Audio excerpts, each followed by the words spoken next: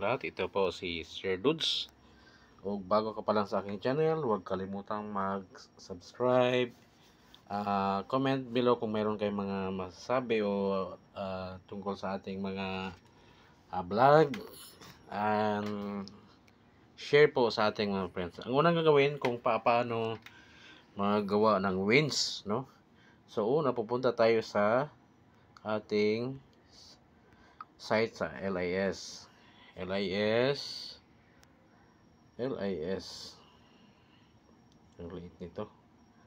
LIS na dashboard. Okay. Hoy ibang dashboard na lumabas. Mali.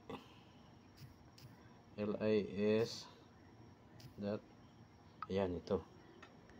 So kung alam niyo yung kung papasok kayo sa schoolhead na account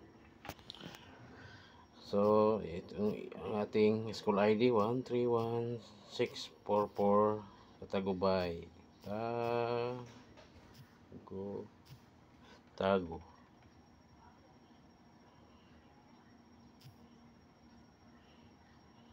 And password.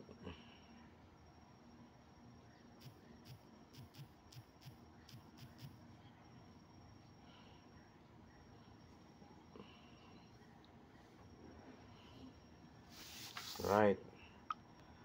So, ang gagawin ninyo,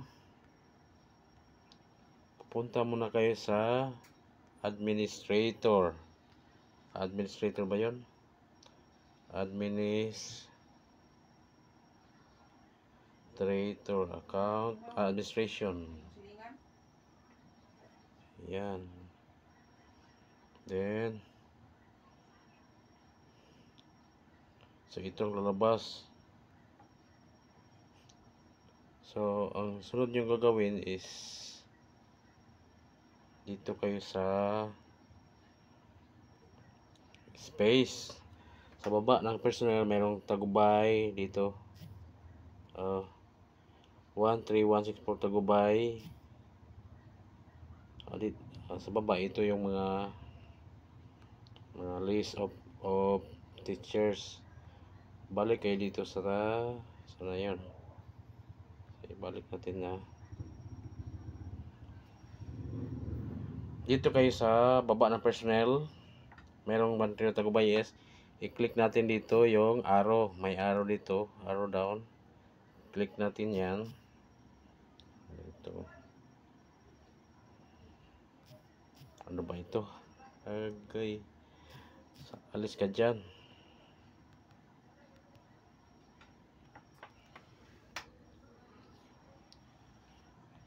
Alright, be, sandali.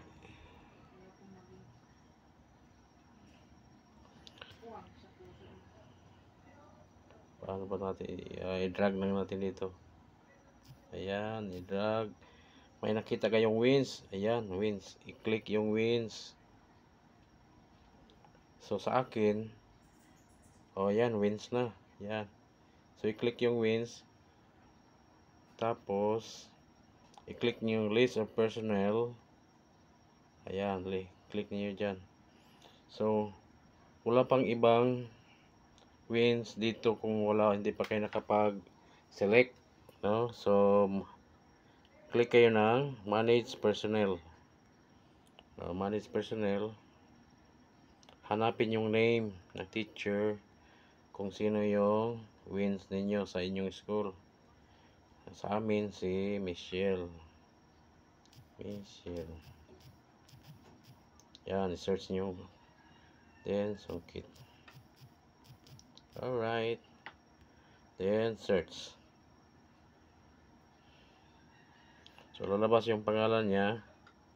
Then select nyo select nyo sa gilid. Yan i-select sa gilid. Then sa baba hanapin yung add role add role ayan administrator. Add role administrator i-click niyo. Then tapos update. Update then done. So thank you I hope uh, may kukuha kayong lesson sa ating tutorial kung paano mag uh, magiging win administrator ang isang teacher sa ating LIS So maraming pong salamat. Huwag kalimutang mag-subscribe. Ito po si Sir Dudes at magsasabing maraming maraming pong salamat sa inyong pag-subscribe. Okay, bye-bye.